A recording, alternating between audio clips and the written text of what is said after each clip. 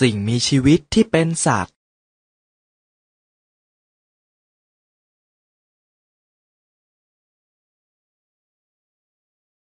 เด็กๆ ลองยกตัวอย่างของสิ่งมีชีวิตรอบๆบ้านมาสักหนึ่งชนิดสิจ๊ะ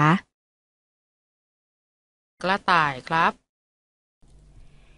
ต้นมายราบค่ะ สุนัขค่ะ เด็กๆรู้ได้ยังไงจ๊ะว่านั่นคือสิ่งมีชีวิต กระต่ายที่บ้านของผม พอกินผักบุ้งแล้วก็ถ่ายออกมาเป็นเม็ดๆครับ พอกินอิ่มแล้วก็ชอบกระโดดไปมา เวลาที่ได้ยินเสียงดังๆ ก็จะกระโดดเข้ากรงทันทีเลยครับพลอยปลูกต้นมายราบกับคุณพ่อที่สวนหลังบ้าน รดน้ำทุกวันและใส่ปุ๋ยอยู่เสมอ ต้นก็โตขึ้นค่ะ ครั้งหนึ่ง มือของพลอยไปโดนใบต้นมายราบ ใบมันก็หุบลงด้วยล่ะค่ะ ส่วนสุนัขของเพลินโตขึ้นกว่าเมื่อก่อนมากเลยค่ะ เพลินชอบพามันออกไปเดินเล่นทุกเย็น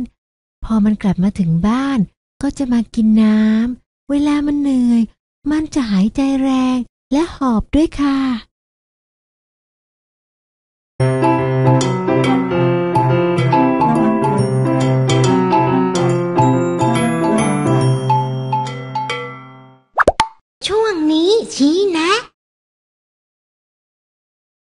น้อง ๆ ครับ สิ่งแวดล้อมรอบ ๆ ตัวเรา จะมีสิ่งมีชีวิตมากมายอาศัยอยู่ ซึ่งมีทั้งสิ่งมีชีวิตที่เป็นสัตว์ และสิ่งมีชีวิตที่เป็นพืชครับ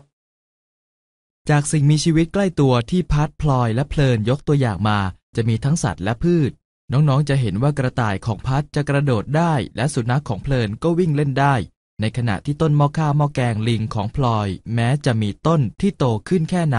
ก็ยังอยู่นิ่งๆ นั่นหมายความว่าสิ่งมีชีวิตที่เป็นสัตว์สามารถเคลื่อนที่ได้ แต่สิ่งมีชีวิตที่เป็นพืชจะไม่สามารถเคลื่อนที่ได้ครับ น้องๆจะเห็นว่าสัตว์ส่วนใหญ่ เช่น กระต่ายและสุนัขจะสามารถเคลื่อนไหวได้อย่างคล่องแคล่ว แต่ก็มีสัตว์บางชนิดที่เคลื่อนไหวได้อย่างช้าๆนะครับ เช่น หอยทากและกิ้งกือครับ แต่สัตว์บางชนิดก็ไม่เคลื่อนไหวนะคะน้องๆยกตัวอย่างเช่น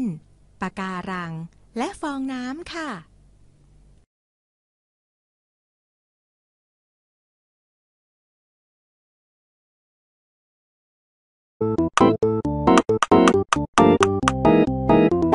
วิทยาศาสตร์รุ่นจิ๋ว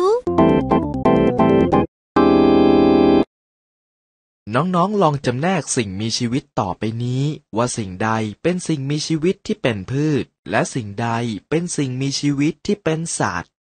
โดยให้น้องๆ เลือกสิ่งมีชีวิตที่เป็นพืช ไปใส่ไว้ในกระถางต้นไม้ทางขวามือ และเลือกสิ่งมีชีวิตที่เป็นสัตว์ ไปใส่ไว้ในกรงทางซ้ายมือครับ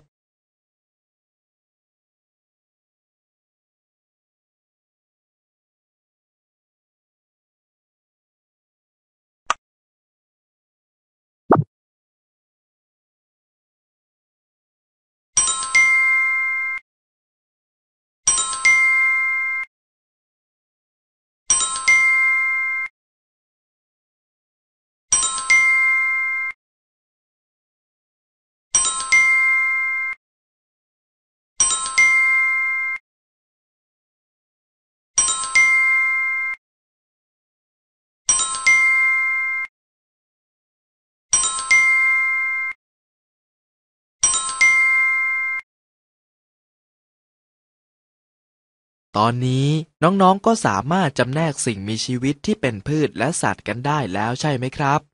เราลองมาดูสิ่งมีชีวิตที่เป็นสัตว์รอบๆตัวเรากันดีกว่าครับ กระต่าย นก สุนัข แมว หนู มด กระรอกวัวนอน หอยทาก ผีเสื้อ ปลา นอกจากนี้ยังมีสัตว์ที่อยู่ในป่าที่น้องๆอาจพบเห็นได้ยากอีกด้วยนะครับ เช่น ช้าง กวางหมี สิงโต เสือ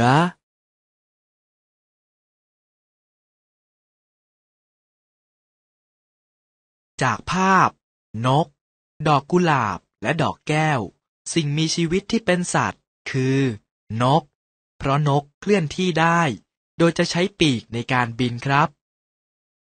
จากภาพ ด้วง ดอกชงโค และดอกบานไม่รู้โรย สิ่งมีชีวิตที่เป็นสัตว์ คือ ด้วง เพราะด้วงเคลื่อนที่ได้โดยใช้ขาทั้งหกข้าง และเคลื่อนไหวหนวดทั้งสองข้างเพื่อป้องกันตัวได้ จากภาพ ต้นหูกวาง ดอกจำปา และลิง สิ่งมีชีวิตที่เป็นสัตว์ คือ